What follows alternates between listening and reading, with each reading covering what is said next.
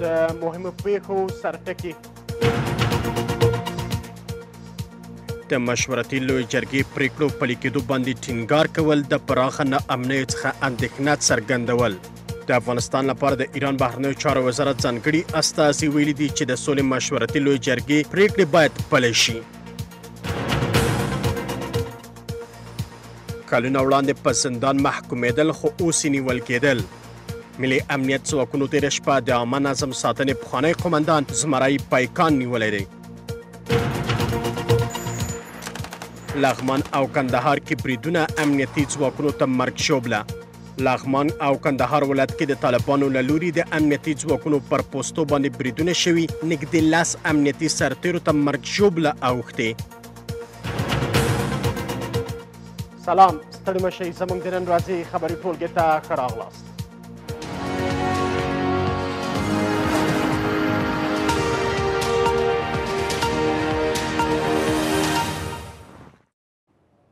اوس هم پوره خبرونه په افغانستان کې د سولې او امنیت ټینګښت لپاره ایران خپل چمتوالی ښودلی دی. د افغانستان لپاره د ایران بهرنیو چارو وزارت ځانګړي استازي په افغانستان کې د ناامنیو پراخوالي څخه اندېښنه څرګنده کړې ده. ویلي دي چې تهران چمتو دی د بین الافغاني خبرو ترسراوي د سولې بهیر کې د بریا په موخه مرسته تر سره کړي. ابراهیم طاهریان د مشورتي لوی جرګې د پرېکړې په اړه ویلي دي چې اړتیا ده د جرګې ټولې پرېکړې پلې شي. طاهریان د سولې ټینګښت نه یوازې د افغانستان د ښاریانو غوښتنه بللې، دا یې د سیمه ایزو هېوادونو ترمنځ د پراختیا لپاره یوه اړتیا بللې ده.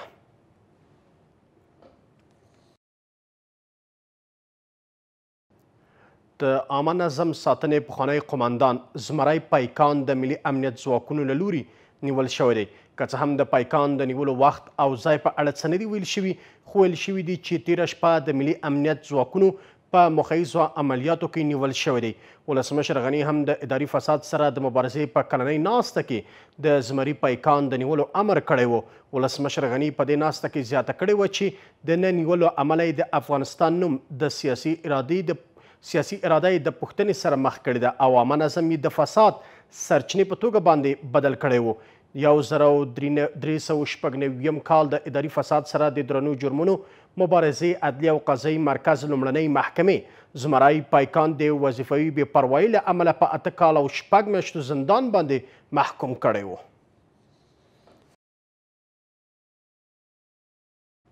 وسله والو طالبانو تېره شپه د کندهار سپین بولدک ولسوالۍ کې امنیتي ځواکونو پر پوستو باندې بریدونه کړي دي یوې امنیتي سرچینې ویلي دي چې وسله والو طالبانو تېره شپه د کندهار د سپین بولدک ولسوالۍ د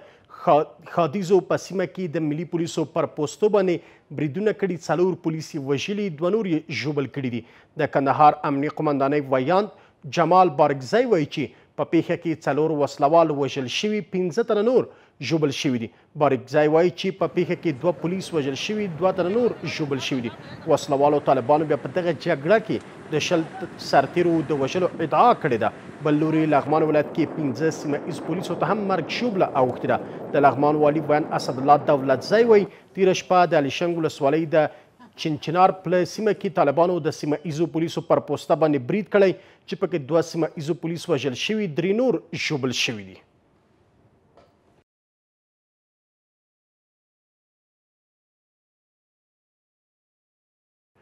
ناټو وایي چې د افغانستان ستونزه پوځي حل لار نه لري او بین الافغاني خبرو پیلیدل کولی شي پایدار سولې ته ورسوي په افغانستان کې د ناټو ملکی استازي استفانو په تنکړو د ولسمشر غني او د ملي امنیت شورا سلاکار حمدالله محب سره په لیدنه کې بین الافغاني خبرو پیلېدو لپاره اړتیا ولیده چې د طالب زندانیانو خوشې کېدل باید تر سره شي او په دې اړه باندې خبرې وشي بین الافغاني مذاکرات پیل شي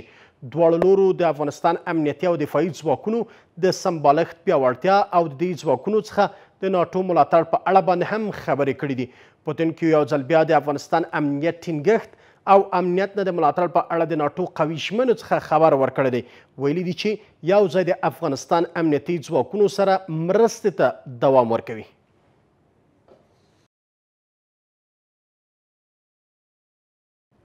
د طالبانو او حقاني شبکې د مشرانو پانګونې باید ضبط کړل شي او پاکستان ته یې سفرونه هم محدود کړل شي. پاکستان بهرنیو چارو وزارت په یوه خبرپاڼه کې ویلي دي چې د ملګرو ملتونو امنیت شورا له لوري د طالبانو او حقاني شبکې مشرانو ملا برادر او سراج الدین حقاني په ګډون باندې محدودیتونه پرې وضع کړي دي دا محدودیتونه سفرونه تحصیلاتي بندیزونه او د طالبانو مشرانو مالي سرچینې باید ضبط کړل شي د افغانستان حکومت د پاکستان له لوري د ترهګرو ډلو له لوري رښتینو ګامونو پورته کېدو غوښتنه هم کړې ده د طالبانو ډلې په تړاو د پاکستان لیدلوري څرخېدل.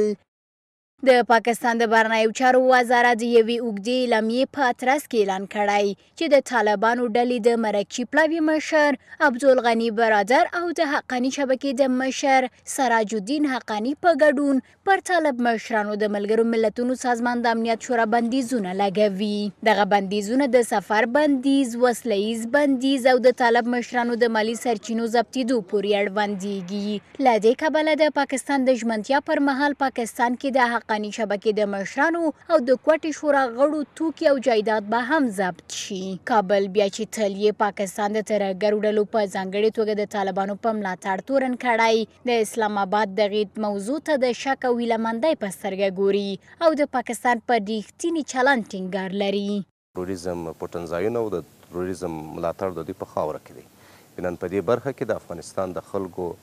او د افغانستان د حکومت غوښتنه همیشنۍ همدا ده چې دوی باید د تروریزم په وړاندې باندې صادقانه او عملي اقدامات وکړي. خو یو شمېر په دې باور دي چې امریکا هڅه کوي پر پاکستان فشار راوړي څو دغه هېواد طالبان د افغانستان دولت سره مخامخ خبرو میز سره وکاږي. ایالات متحده امریکا بالای پاکستان فشار آورده تایی که طالبان را به میز مذاکره بکشانند امریکایی های را خوب درک میکنند که یگانه کشور که بیشتر تسلط داره بالای طالبان و رابطه بسیار نزدیک داره با طالبان پاکستانی ها هست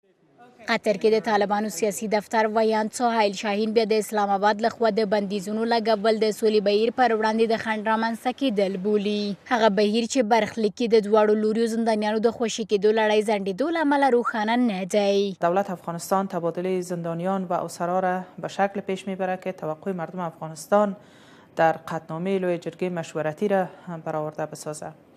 از بود حقوقی و عدلی روی درخواست شما را از کشورها مبنی بر عدم رهایی شمار اندک از زندانیان بحث جریان داره.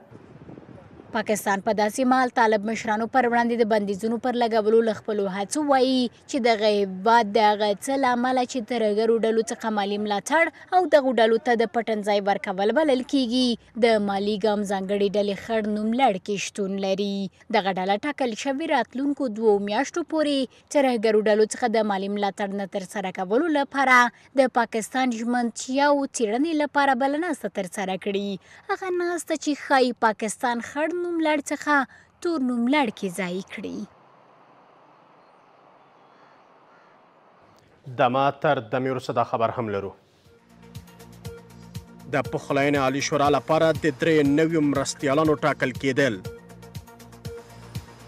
بیا هم خراغلاست د افغانستان د سولې بهیر چې ویل کېدل بین افغاني مذاکرات نږدې دي لا تر اوسه پورې خنډونه په مخ کې لري درې سوه شل تنه طالب ګواښونکي زندانیان لاندې دي خوشي شوي افغان حکومت وایي چې طالب باید کمانډو ځواکونه یا افغان امنیتي ځواکونه راخوشي کړي په مقابل کې درې سوه شل تنه طالب زندانیان راخوشي کېږي خو لا تر اوسه پورې هم دا مسئله د هېوادونو ترمنځ د افغانستان حکومت سره په اختلاف کې ده. هېوادونو مخالفت څرګند کړی دی، خو غوښتنې دا دي چې دا خبرې باید د بین الافغاني مذاکراتو پر وړاندې باندې خنډ نه شي. دا چې د افغانستان حکومت په دومره ورځو کې څومره ګامونه پورته کړي چې وکولی شي بین الافغاني مذاکرات ژر تر ژره پورې پیل کړي، په دې تړاو باندې بحث کوو. د سولې په چارو کې د دولت وزارت ویاند او د ستراتیژیکو اړیکو مشره ناجیه انوري راسره په بحث کې ده. ښاغلی انوري ډېره زیاته مننه کوم چې وخت مو راکړی. غواړم وپوښتم افغان حکومت د بین الافغاني مذاکراتو لپاره وروستي ګامونه کوم پورته کړي چې وکولای شي ژر تر ژره بین الافغاني مذاکرات پیل کړي سلام تاسو ته او د افغانستان با عزت خلک ته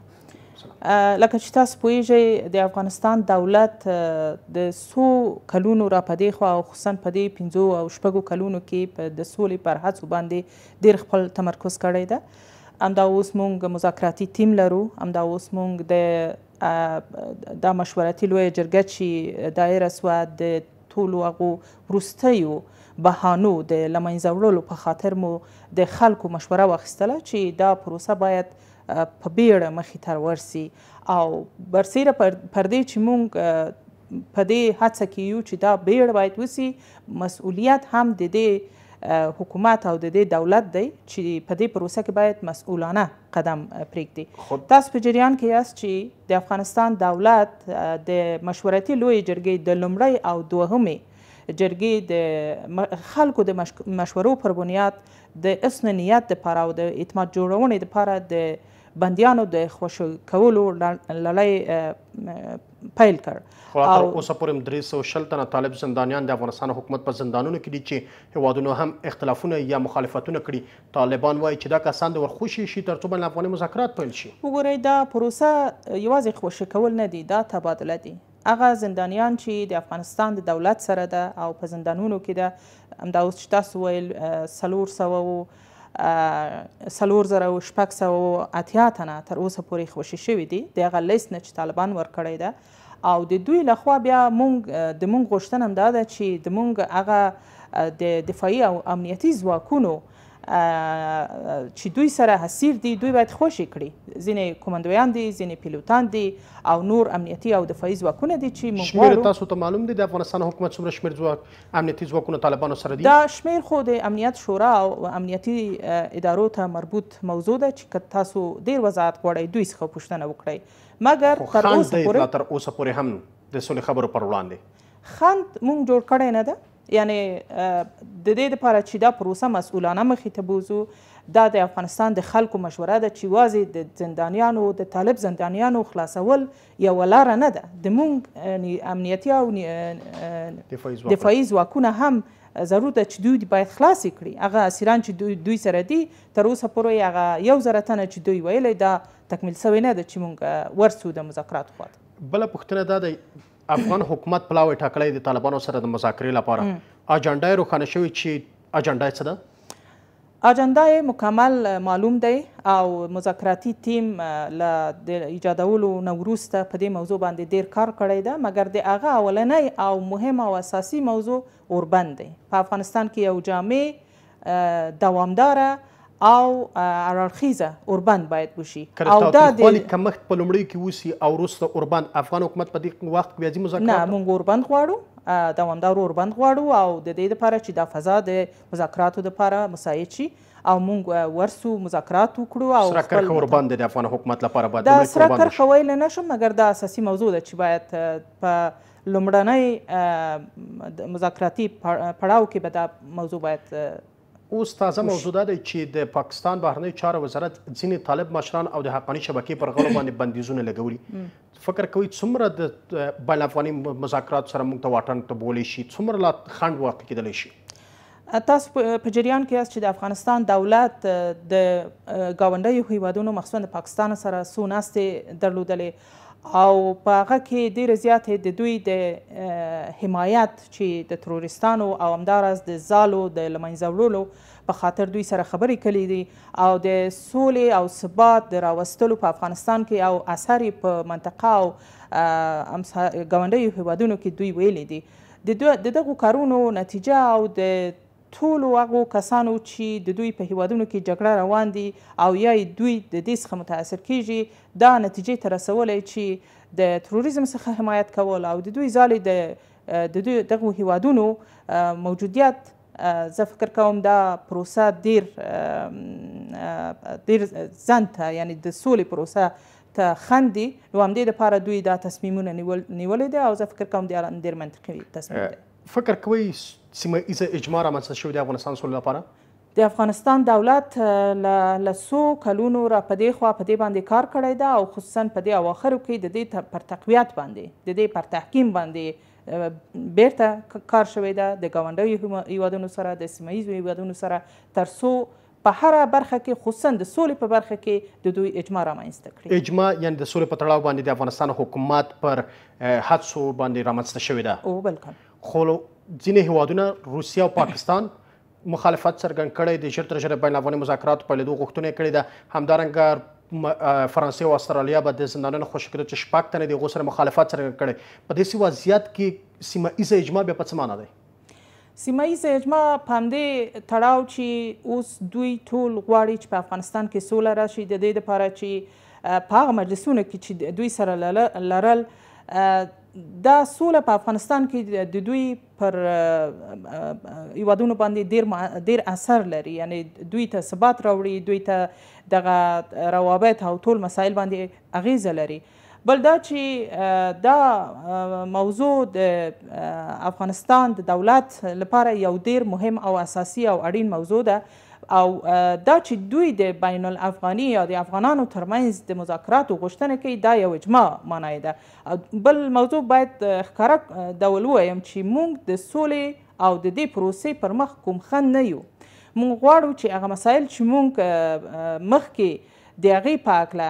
خبرې کړې دي یعنې د همدا اوس دا د زندانیانو د تبادلې پروسه درېدلې ده موږ غواړو چې د دواړو خواو د حسن نیت او هغه مسایل چې باید انعطاف پذیری وي د دواړو خواو څخه وښودل شي افغان حکومت ته بیا دوه اوس مهال په دولرۍ کې چې شتون لري هلته ملاتړي هیوادونه فرانسه او استرالیا مخالفت څرګندوي دیو ته د طالبانو خوشې کېدو لپاره طالبان زندانیانو خوشې کېدل د ځان لپاره سره کرښه بولي د بین افغاني مذاکرات لپاره شرط وړاندې کوي افغان حکومت دلته په دوه لړه کې کومه خواته باید پرېکړه ونیسي زندانیان خوشې کوي که دلته ملاتړو هېوادونو خبره مني نه د هغو هیوادونو د یو یو کم شمیر هیوادونو غوښتنه د زینو کم شمیر زندانیانو په اکله چې د دوی هغه کسان چې وژلې ده د هغه په خاطر دا تر بحث لاندې ده یعنې دا موضوع اوس تر بحث لاندې ده چې په دې پروسه کې څنګه دوی مخ ته وړل شي نو دا موضوع اوس تر کار لاندې ده او حتما به کومه لاره ورته فکر کوئ خوشبینه یاست چې پایلې ته ورسره ورسیږئ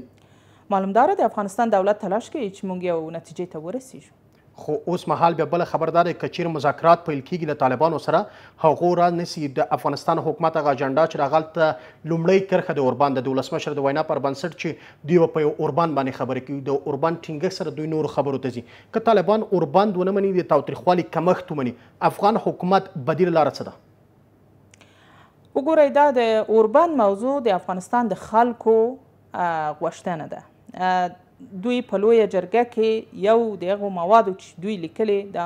موضوع د اوربند ده. د دې لپاره چې تاوتریخوالی کمښت بیا مشخص تعریف لکه چې مخکې یې درلودل نه لري، همدې لپاره موږ غواړو چې یو اوربند وشي، په اوربند کې بیا د اعتماد فضا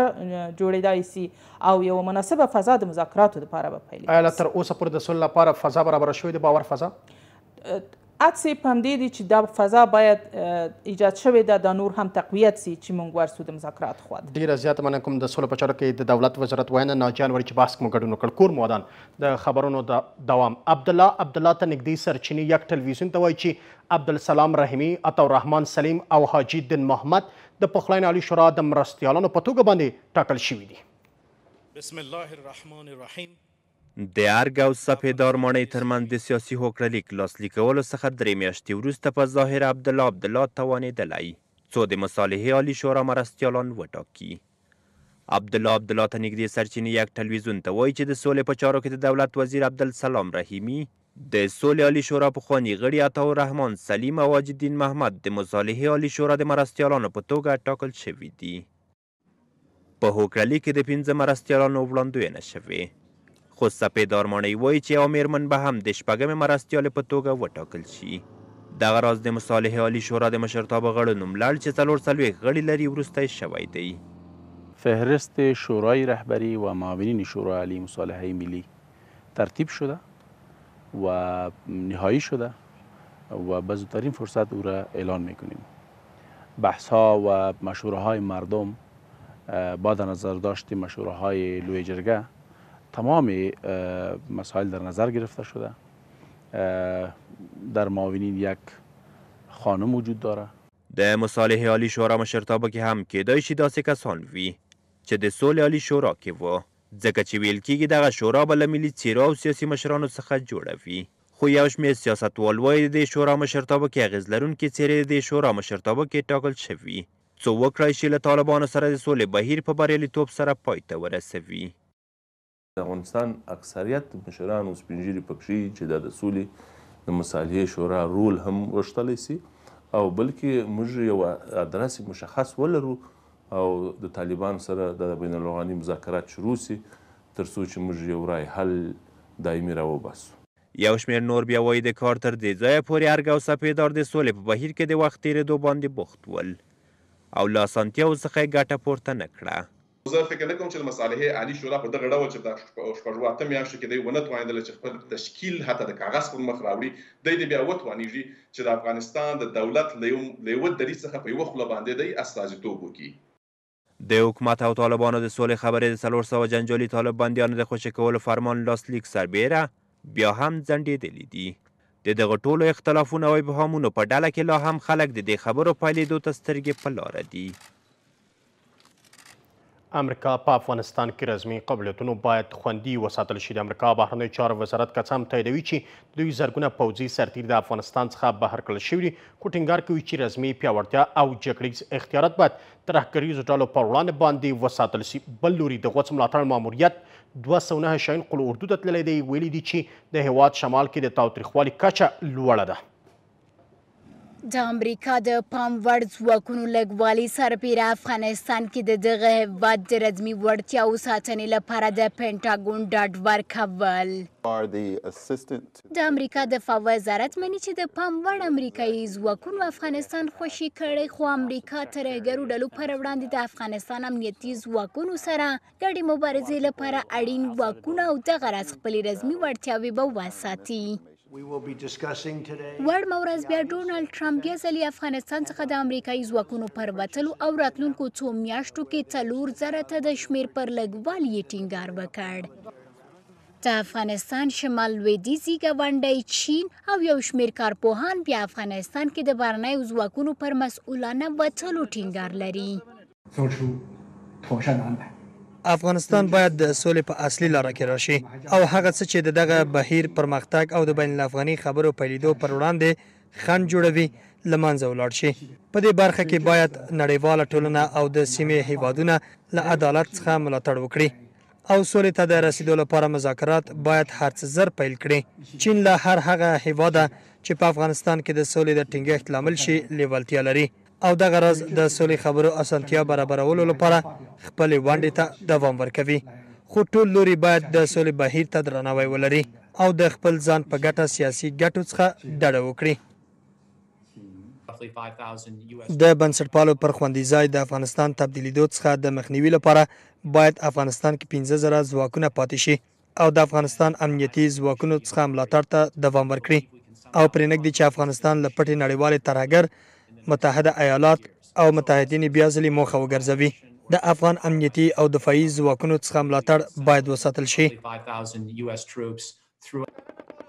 له دې سره هممهاله د ناټو غوڅ ملاتړ ماموریت قوماندان چې د دفاع وزارت مرستیال سره د شاهین دوه سوه نهه قول اردو ته تللی، بیا ځلې امنیتي ځواکونو څخه د دوام لرونکي ملاتړ اعلان سره ټینګار لري چې طالبان باید د تاوتریخوالي لږوالي لپاره د خلکو غوښتنه ومني.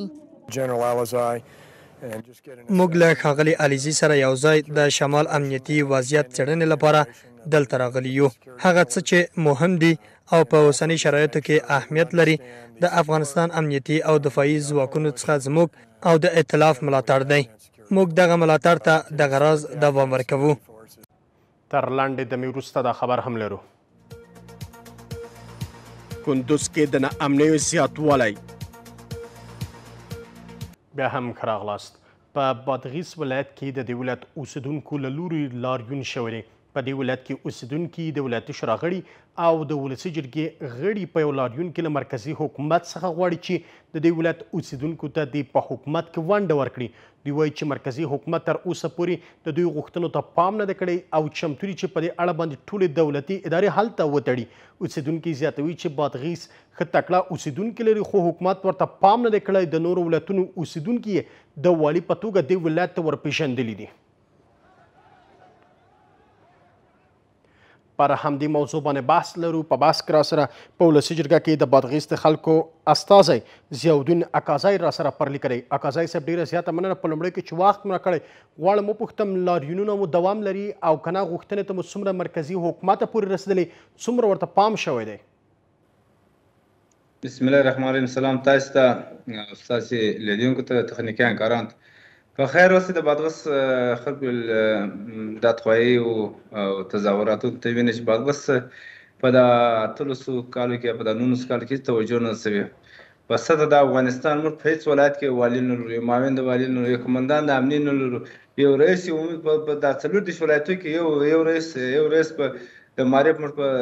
هرات ولایت کې لرو. مونږ ایا مونږ د افغانستان تبع نه یو؟ مونږ په دې ولسمشرۍ انتخاباتو کې ګډون نه دی کړی. مونږ هم دغسې دغه لرو تحصیل کېدای ځوانان لرو چې په شرایطو برابر غواړي چې چې والي شي، وزیر شي، معین شي، قمندان د امنیت ریس د امنیت ملي په وزارتو کې کار وکړي موږ په ګر افغانستان کې په د وزارتو کې تبلا سید پیس ته یو خبرنګار جوړانست ته پښتنه که تا په یو وزارت کې یو رئیس عمومي د بادغس ول دی یا یو مدیر عمومي دی ول دی سید موږ خلک بالا صبر او حوصله نور تنګ سو وای څوک چې په تنګ راغی په جنگ راغی والي معرفي کړو بادغست جمعګل امات هغه بادغس راکړي د بادغس خلکو ورسونو او موږ خپل ورسو په کټ ورته ولاړو هغه هم پرې نه شو چې بادغس راسي ماوین د ولایت مون د ولایت څخه در ولایت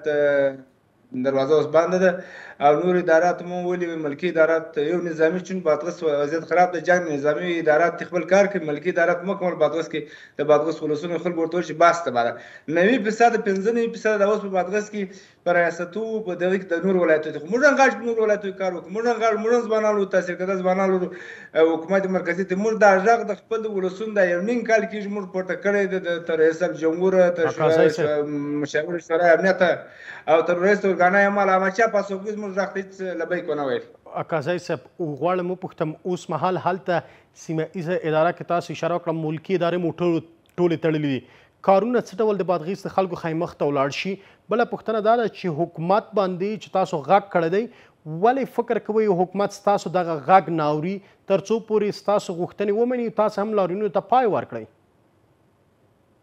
نو دا پر حکومت مثبت لري موږ حاضر یو خبرو ته گفتگو ته موږ حاضر یو چې لار د حل پیدا شي زموږ د خلکو زموږ د ولسونو قناعت حاصل شي یو میلیون وګړي په بادغیس لیدګي کې آیا یو مور نه غواړي چې خپل زوی ویني وزیر سي آیا مور نه غواړي چې خپل زوی ویني آیا په بادغیس کې دا مور پیدا نه شي چې والي او وزیر دې دنیا ته راوړي په نور ولایتو کې نو موږ دا ارمان دا دا توقع لرو په هیڅ ته بادغیسي چې موږ غواړو چې خپل ځان په دې حکومت کې ووینو په دې آینه کې ځان ووینو چې موږ یو څوک لرو دا مو ارمان ده دا مو هیله ده زموږ زموږ د ولسونو اما موږ پر حکومت غږ کړو چې ډېر د ډېر کردار کم موږ مجبور شوي بل لار تر ورځې چې زموږ حق زموږ ولسونو حق حکومت لبیک ورته ونه وایه موږ ته زموږ خلکو ته کار او وظیفه پیدا نه کړي موږ دا لاریونونه او د د د تقاعد به مو ادامه ورکوو. اوس مهال هلته بیا څه دولتي ادارې تاسو په ولایت کې بندې کړې دي د خلکو کارونه له خنډ سره مخ شوي نه دي؟ نو طبعا یو اداره چې بسته یي د ولایت دروازه بسته یي طبعا د خلکو کارونه د زموږ خلکو زموږ ولسونه دغه ته آماده دي چې د کار یا انتظار سره مخ شي او هر څه وشي موږ قربانو تا جری دلال ته بل لار نه راته پته دا اوس مخمی د ولایت په خره ولاړ موږ خپل تر وکیلانو نیولې تر شورای ولایتي نیولې تر جامع مدني شورای علما موږ خپل په خیمو کې ناس شپه ورځ موږ بل چاره او بل لار نه پات حکومت دا نه غوښته حکومت د بادغیس خلکو ته پاسوکي ورکړي تبان په اداري ملکو ملکی ادارو تبان د خلکو کارونه په ځان خام سره بلیږي مشکلات پیسیږي اما موږ دغه دغه خبرو ته خلکو سره خبرو کې د ملکي ادارو سره خبرې کوي چې دا د بادغیس ولسونو غوښتنه ده اکاځای صاحب د فک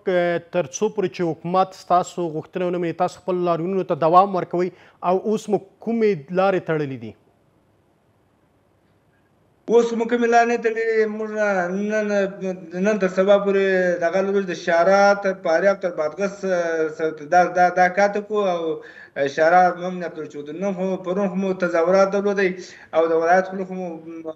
خیمه ولاړ دغه بنده ده او نن اداره ملکی ادارو رئیسان سره خبرې وکړي چې بالا دغه د بادغست ولسو غوښتنه ده خپل ادارونه بالا وتړي د لې وسیږي زموږ ورونه زموږ ستاسو سره مشکل لري موږ د حکومت سره مشکل موږ خپل د حق د خوا نو دا ګرد هر چا سره چې خبره کوي د بغداسیان پر حق دي ته ما ته ته وایي چې ته ولاس په وزارتو کې پښتنو کې دی یو رئیس عمومي یا مدیر عمومي ولې موږ نه کوي نو موږ خلک موږ سره سو ادارو سره مون خبرې وکړې هغو د ولسو غوښتنو ته پاسخ کول بیخي موږ حاضر یو دې خبرو ته اما موږ تر هغه ورځې به خپل لارونو خپل تظاهراتو خپل دادخواهیو ته ادامه ورکو چې زموږ حق مرکزي حکومت راکړي هغه ورځ د رئیس اورګانای مال سره خبرې وکړې په دې اکړه موږ ته وویل چې لاس ورځې ته ماته وخت راکړه زه رئیس صاحب جمهور سره ته د بادغیس وکیلان او شورای ولایتي جمع سپینږیري او دا نوی والي د دې دا پرېږدي دا به موږ ته به سره کښېني موږ ته نه موږ ته باید عملا کار موږ بالا په نورو چرمو خبرو نه خطا ووځو ولې ډېر خطا وتلي ډېر مو تېر استلي موږ عملا کار لرو پر یوې بجې یوې بجې د کې موږ د مشاور د شورا امنیت سره خبرې لرو وی تی سی لرو چې وګوره هغه څه جواب لري موږ د خبرو ته ګفتګو ته حاضر اما موږ خپل حق ته ورغاړو په خبرو نه خطا وځو دا وخت ډیر زیات مننه کوم په ولسی جرګه کې د بادغیس د خلکو استازي ضیاء الدین اکازای چې وخت ونه کړ کور مودان د خبرونو دوام په کندوز ولایت کې د ناامنیو زیاتوالي سلګونه تنه اوسیدونکو په دې ولایت کې په لاریون باندې لاس پورې کړی دی او د امنیت د ټینګښت غوښتنه یې کړې ده لاریونوال وایي چې طالب جنګیالیو د ښار یو نیم کیلومترۍ واټن ته را رسېدلي دي شونې ده چې د پراخو عملیاتونو تر سره کېدو احتمال هم شتون ولري خو سیمه ایز چارواکي بیا کندوز څو ولسوالیو کې د امنیتي ځواکونو شاتګ تاکتیکي بولي د کندوز ولایت یو شمېر ولسوالیو کې د ناامنیو ډېروالي سره د دغه ولایت اوسېدونکو لاس په لاریون پورې کړی. لاریونوال له حکومته امنیت غواړي. هغه څه چې دغو ورځو کې د کندوز ولایت ډېری اوسېدونکي ترې بې برخې دي. دوی وایي طالب جنګیالي د کندوز ښار یو نیم کیلومترۍ ته رسېدلي او په ازاده توګه فعالیت کوي.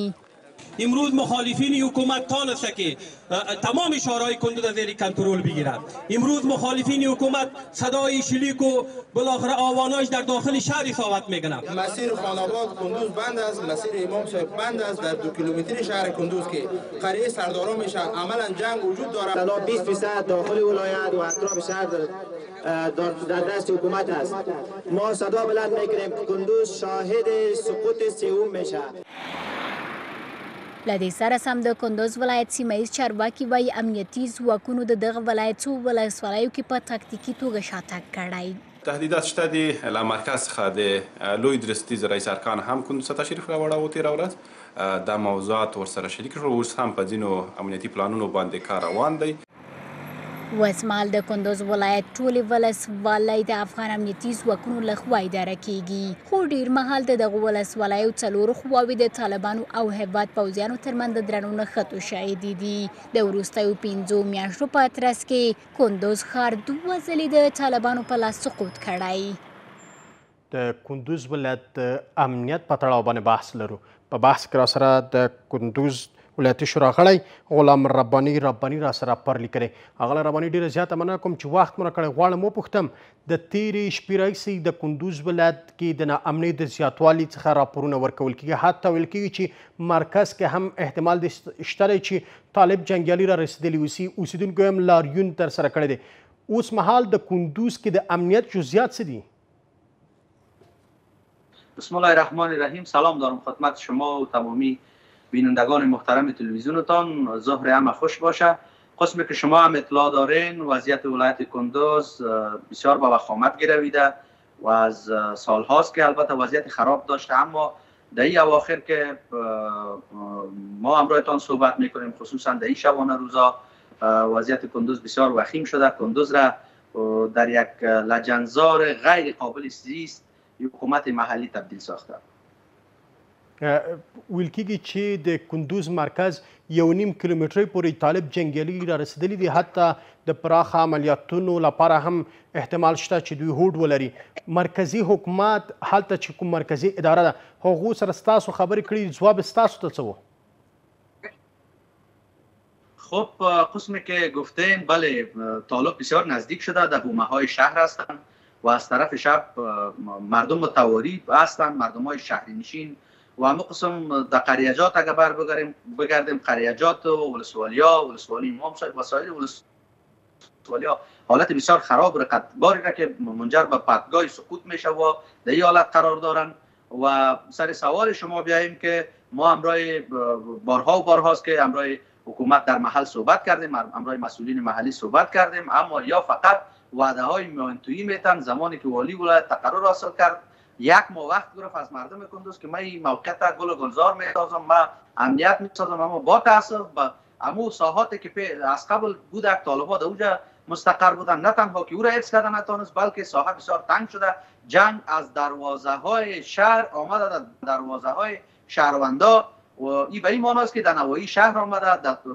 در مناطق که حتی ساحات تجارتی و رهایشی شهر کندز است در او استقامت آمده اما همواره حکومت محلی و حکومت مرکزی اطمینان کاذب میتن و میگن که هیچ گپی نیست ما ایده تنظیم میکنه ما دیروز اعتراضات گسترده مدنی را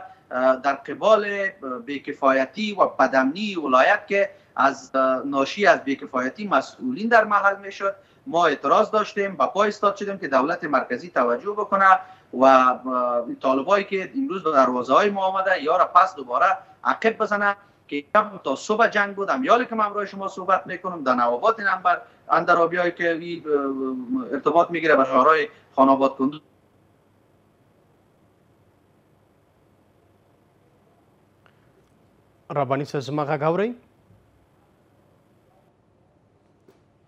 د تخنیکي ستونزې له امله له رباني سره زموږ اړیکه پرې شوې ده د خبرونو دوام تیره ورځ د پلازمینې په بیلابیلو برخو کې څلور چاودنې وشوې دوه چاودنې د تیرې ورځې سهار په ومه او پنځلسمه حوزو کې چې یو تن ووژل شول ووژل شو څلور تنه نور ژوبل شول، خو درېمې چاودنې بیا تلفات له ځانه سره نه درلودل. څلورمه چاودنه بیا تېر ماښام پنځمې پنځه نوي بجې د باغ بالا په سیمه کې وشوه چې په کې دوه تنه ژوبل شول. ځینې پلازمین مېشتي بیا د کابل امنیتي وضعیت څخه اندېښنه څرګندوي او امنیتي چارواکي په کمکارۍ باندې تورنوي. کورنیو چارو وزارت وايي چې د مقناطیسي چاودنو شبکه یې هم نیولې ده. د هرې ورځې په تیریدو سره د مقناطیسي ماینونو چاودنې د زیاتوالي په حال کې دي. تمه کېده چې د امنیتي میثاق خپرونې په لیکېدو سره د پلازمېنې امنیت ښه شي، خو په ظاهره دغې خپرونې چندانې اغېز نه ده لرلی. پرون سهار د پلازمېنې درې بېلابېل برخې د مقناطیسي ماین چاودنو شاهدې وې. د چهل ستون نوي سړک کې چاودنې له امله یو تن مړ او دوه نور ټپیان شول. او د شهید څلور لارې کې هم چاودنې دوه ملکي وګړي ټپیان کړل. درېیمه چاودنه هم د کابل پنځمې امنیتي حوزې اړوند کې شوې، خو مرګ ژوبله یې نه لرله. کابل از سابق ناامنتر شده و انفجارات و انتحارات روز به روز زیادتر شده، سابق کرده و نهادهای کشف و استخبارات در این پروسه ناکام مانده. حملههای انتحاری، انفجاری، مینهای مقناطیسی کنار جاده یا به موترهایی که میچسبانند واقعا وضعیت کنونی در افغانستان بیشتر از پیش مشکل میسازه. له دې سره سم دلته له کابل ښار څخه لرې د پغمان ولسوالۍ اوسېدونکي هم د غیر مسؤل وسله والو کسانو له شتون څخه اندېښمن دي. امنیت در ولسوالی پغمان بسیار خراب شده به خاطر که